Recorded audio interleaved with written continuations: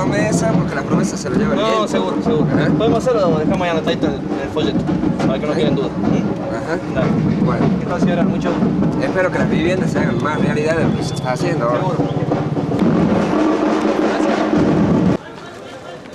¿Cómo está bien? Muchas gracias. Bien.